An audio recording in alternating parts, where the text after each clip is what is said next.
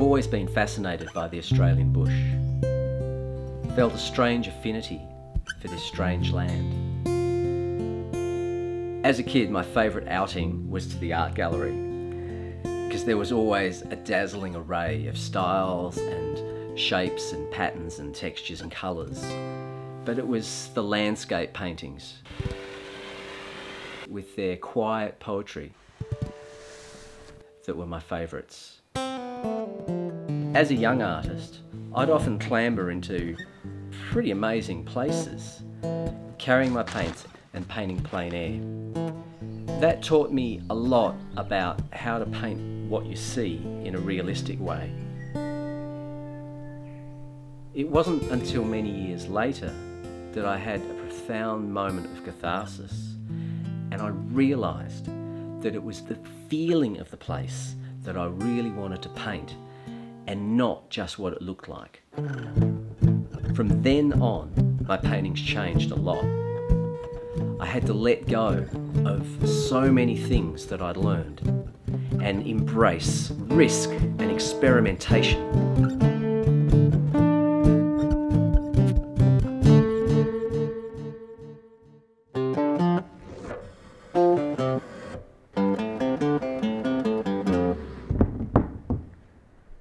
Breaking free from the traditional square format of painting has allowed me to explore new forms, new shapes and textures that are directly inspired by the bush that I see around me every day.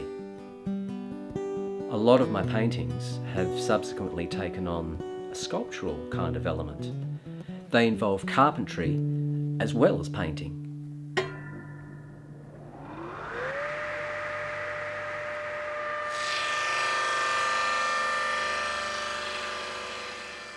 Some of the larger works take well over a week to cut, prime and assemble before I even start painting.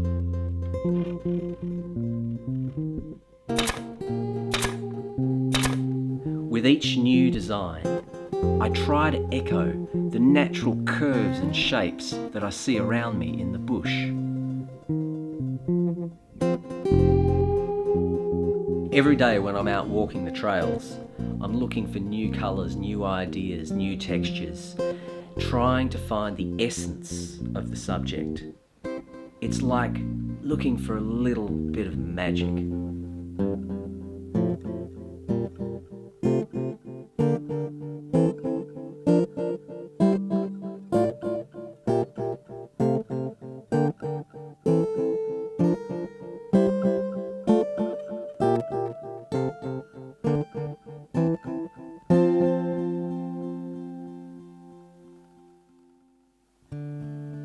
The finished paintings hanging in the studio become objects in their own right. They've got a life that's completely separate to the landscape that inspired them.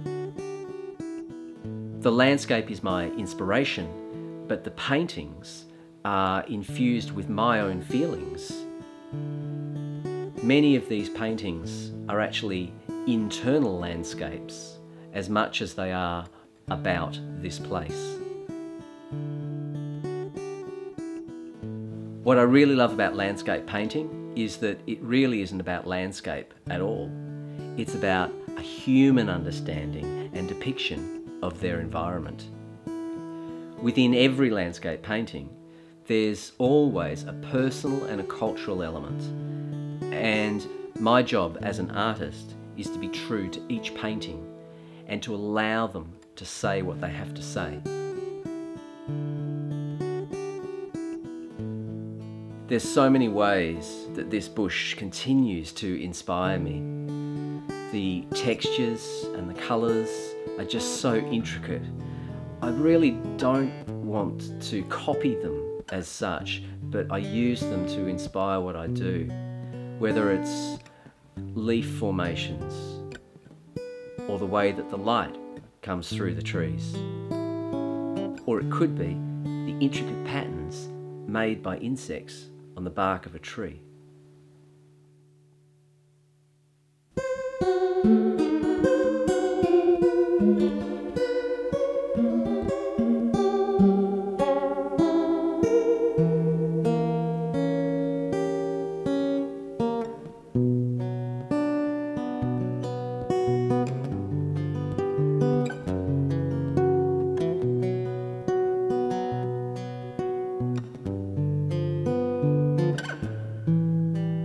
After all of the painting, the finishing is always the hardest bit.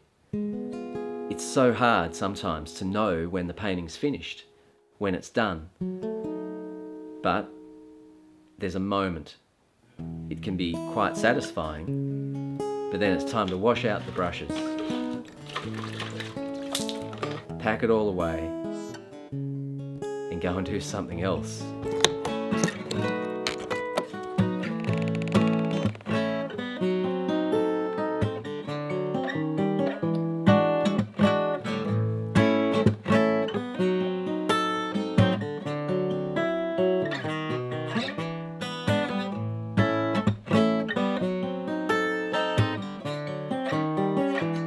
There's always another exhibition to prepare for, and it's time to head out and find a bit more magic.